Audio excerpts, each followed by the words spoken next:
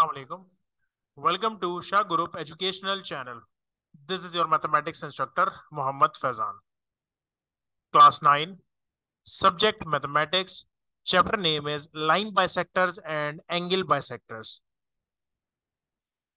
इस चैप्टर का एक लेक्चर हम पढ़ चुके हैं उसमें तीन थ्योरम हमने समझे थे तो आज उसको कंटिन्यू करना है ऑब्वियसली पहले वो लेक्चर पढ़े हुए हो ताकि आपकी लॉजिक क्लियर हो बाइसेक्टर क्या होता है लाइन बाइसेक्टर क्या होता है फिर आप इसको कंटिन्यू करेंगे इसमें हम उन्हीं थ्योरम्स को आगे कंटिन्यू करेंगे और एमसीक्यूज देखेंगे। So let's start any point on the bisector of angle is equidistant from its arm अब आपने अगर लास्ट लेक्चर पढ़ा है तो आपको याद होगा, हम उसमें कहते थे कि राइट बाइसेक्टर होने पे लाइन को राइट बाइसेक्ट करने पर पॉइंट इक्विडिस्टेंट होता है। यहाँ क्या प्रूफ करना है? एंगल को बाइसेक्ट करने पर पॉइंट इक्विडिस्टेंट होगा।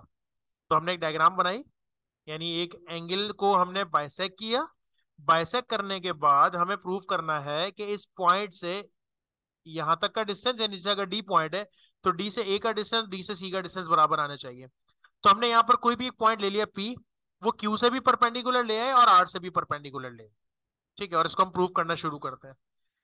तो हमने कहा बी डी एक बाइसेक्टर है ए बी सी पे। और P हमने एक पॉइंट रखा है। P is any point on D P कोई भी पॉइंट हो सकता है जो डी के दरमियान हो। क्यू और आर क्या है? इसके परपेंडिकुलर है बी और बी और सी गॉट इट अब आ जाते हैं प्रूफ क्या करना है। प्रूफ ये करना है कि P से Q का डिस्टेंस P से R के बराबर होना चाहिए। ज़ाहिर है इक्वी डिस्टेंट की बात हो रही है। तो ये बराबर होना चाहिए। कैसे बराबर होगा? आपको नज़र आ रहा है, बहुत यहाँ दो ट्राइंगल बन रहे हैं। पी बी क्यू और एक बन रहा है पी बी आर तो ये दो ट्राइंगल हमने कंसीडर किए। इन दो ट्राइंगल में हमें तीन चीज़ें प्रूव करेंगे तो ट्राइंगल कॉन्ग्रेंट हो जाएगा। ये बात अब तक समझ में आ चुकी होगी, बहुत बार रिपीट हो गई। तो इसमें क्या क्या बराबर है? इसमें हमें नज़र आ रहा है, हमें सबसे पहले नज़र आ रहा है कि एंगल थ्री एंगल फोर के बराबर है। क्यों? क्योंकि दोनों परपेंडिकुलर गिराए थे तो परपेंडिकुलर का मतलब राइट एंगल था तो इसका मतलब ये दोनों राइट एंगल है तो एंगल थ्री और फोर तो बराबर है। और क्या बराबर होगा? और हमें नज़र आ रहा है कि एंगल वन जो है, वो एंगल टू के बराबर है। क्योंकि ये क्या है? ये बेसिकली तो एंगल बाइसेक्टर है ना तो एंगल बाइसेक्टर में तो हमने पहले ही डेफिनेशन पढ़ी हुई है कि दोनों एंगल बराबर हिस्सों में तोड़ता है। तो एंगल वन और टू बराबर होगा, ये हमने पता है बाइसेक्टर है। तीसरी चीज़ हमें नज़र आ रही है कि बीपी इस तरफ़ भी है, इस तरफ़ भी है तो दोनों इक्वल होंगे। तो इसका मतलब ये हुआ कि जब तीनों चीज़ें मौजूद हैं तीन चीज़ें दो ट्राइंगल की बराबर प्रूफ कर दी तो दोनों ट्राइंगल कॉन्ग्रेंट हुए पॉस्टुलेट कौन सा लगाएँगे बेटा? एंगल एंगल साइड अगर कॉन्ग्रेंट हो चुका है तो इस दोनों ट्राइंगल की तमाम चीज़ें बराबर होंगी। तमाम चीज़ों का क्या मतलब हुआ?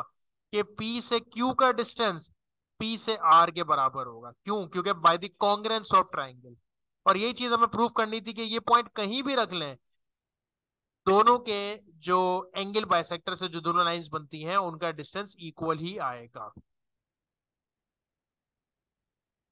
नेक्स्ट आते हैं।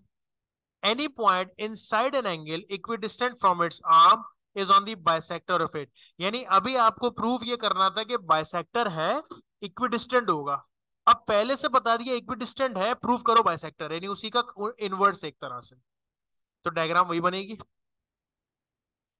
बस बात ये, इस दफ़ा आपको मालूम था कि बाइसेक्टर है एंगल वन और टू बराबर है प्रूफ करना था पी क्यू बराबर है पी आर क्या उल्टा हो गया। अब आपको पहले से पता है कि पी क्यू बराबर है पी आर के और प्रूफ करना है कि एंगल वन और टू बराबर है। तो गिवन हमारे पास है पी एक पॉइंट है, जो बी और डी से इक्विडिस्टेंट है। सॉरी इक्विडिस्टेंट है कहाँ से? बी ए और बी सी से ओके बी डी पे एक पॉइंट है पी और पहले से पता है कि पी क्यू बराबर है पी आर के, और ये भी मालूम है कि पी क्यू और पी क्यू परपेंडिकुलर है ए बी पर और पी आर किसके परपेंडिकुलर है बी सी तो दोनों ट्राइंगल्स हैं। कंसीडर करते हैं दोनों ट्राइंगल को। बिल्कुल सेम है पिछले वाली की तरह। इन दोनों ट्राइंगल में क्या क्या बराबर मालूम है आपको? आपको मालूम है एंगल थ्री और फोर बराबर है। क्यों बराबर है? क्योंकि राइट एंगल ट्राइंगल है। आपको मालूम है पी क्यू बराबर है पी आर के, सवाल में गिवन है। और क्या मालूम है? बीपी इक्वल्स टू बीपी इस साइड पर भी, इस साइड पर भी है। दोनों कैसे हैं? कॉमन पॉइंट है। तो इसका मतलब दोनों ट्राइंगल कॉन्ग्रेंट है। कॉन्ग्रेंट का मतलब हो गया पॉस्टुलेट कौन सा लगा? एंगल साइड साइड ठीक है, और आप ये भी कह सकते हैं, क्योंकि राइट एंगल है तो आप एच एस भी लिख सकते हैं यहाँ पर।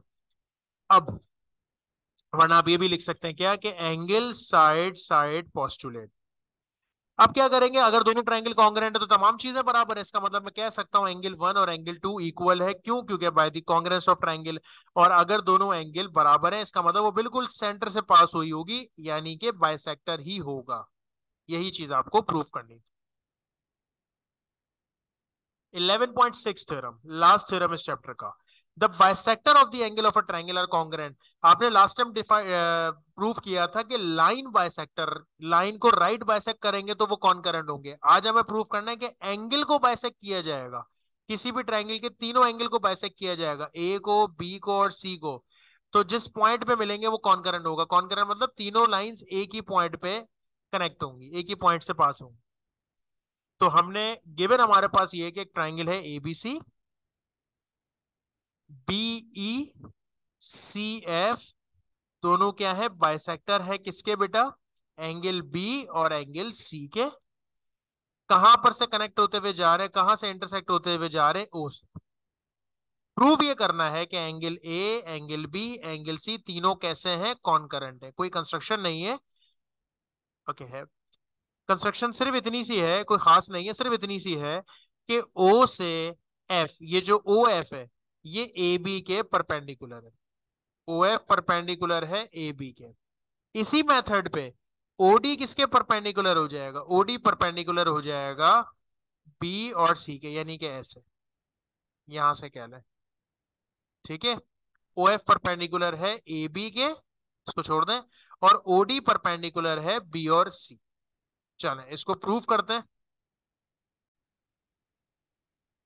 तो बेसिकली कॉरेस्पॉन्डेंस की अगर बात की जाए तो हम कहेंगे OD equals to O F जरा गौर से देखिएगा, ये देखिए एंगल बी का बायसेक्टर है, दोनों परपेंडिकुलर है। अभी प्रूफ किया पिछले लेक्चर्स में, पिछले थ्योरम में बल्कि, कि बायसेक्टर होगा तो वो पॉइंट इस दोनों लाइंस के इक्विडिस्टेंट होगा। तो मैं कह सकता हूँ कि ओडी बराबर ओ एफ़ के। Right a point on a bisector of an angle is equidistant from its arm इसी लेक्चर के पहले थ्योरम में हमने प्रूव किया यानी 11.4 में। इसी मेथड पे अगर हम आगे देखें तो ओडी किसके बराबर होगा? ओ e के। तो क्या मैं कह सकता हूँ कि ओडी से ओडी कैंसिल तो ओ एफ़ बराबर हो गया ओ ई e के। O F equals to O यानी कि तीनों एंगल तीनों बेसिकली पॉइंट्स आपस में इक्वल हैं। तो ओ जो पॉइंट है, वो बाइसेक्टर है एंगल बाइसेक्टर है किसका? ए का। इसी तरीके से ओ जो है, वो एंगल बाइसेक्टर है बी का। इसी तरीके से ओ जो पॉइंट है, वो बाइसेक्टर है सी का। तो ओ ही एक कॉमन पॉइंट है जो तीनों का बाइसेक्टर है। तो इसलिए हम, ये, हमने ये बात प्रूव कर दी कि ये कॉनकरेंट है। कॉनकरेंट मतलब ये एक इकलौता पॉइंट है जहाँ से तीनों के एंगल बाइसेक्टर पास हो रहे हैं। चलें, इसके एमसीक्यूज देखते हैं। A point equidistant from the end points of a line segment is on the dash of it तो राइट बाइसेक्टर ये थ्योरम में प्रूव भी किया है पिछले लेक्चर में। Any point on the dash of एक second a point equidistant from the end points of a line segment is on the right bisector ठीक है। Any point on the dash of a line segment is equidistant from its end point any point on the dash of a line segment किसी भी line segment के right bisector पर क्या होगा? हमने ये थ्योरम भी प्रूव किया कि इक्विडिस्टेंट है तो वो राइट बाइसेक्टर ही होगा। The bisectors of the angles of a triangle are अभी अभी प्रूव किया लास्ट में। तीनों एंगल के अगर हम बाइसेक्टर मालूम करें तो आपस में कैसे होंगे? कौन करंट होंगे? एक जगह से पास हो रहे हो। The bisector of the angles of a triangle are repeat हो गया कॉन्करेंट होंगे? Bisection means to divide into two equal parts by कहते हैं टू को, मैंने आपको बताया था तो इसका मतलब दो हिस्सों में तोड़ने को कहेंगे। Dash of a line segment means to draw perpendicular which passes through the midpoints of a line segment. Perpendicular गिरेगा और बिल्कुल बीच से पास होगा तो उसे हम क्या कहते हैं? उसे राइट बाइसेक्शन कहते हैं। Bisection of an angle means to draw a ray to divide the given angle into कितने इक्वल पार्ट्स में डिवाइड करेगा बेटा? टू इक्वल पार्ट्स में। एक डायग्राम दी हुई है और आपसे कह रहे हैं if C D is right bisector C D जो है राइट बाइसेक्टर है ए बी के तो ओ ए किसके बराबर होगा? ओ ए बराबर होगा ओ बी के। Simple. Right bisector cut the line segment into two equal parts at right bisect right bisector perpendicular गिराता है नहीं कितने एंगल पर? 90 डिग्री पर। सो so, होपफुली बात समझ में आ गई होगी। इसी के साथ आपका ये चैप्टर भी कंप्लीट हुआ। इंशाल्लाह नेक्स्ट लेक्चर में नया चैप्टर पढ़ेंगे। दैट्स ऑल फॉर टुडे अल्लाह हाफिज।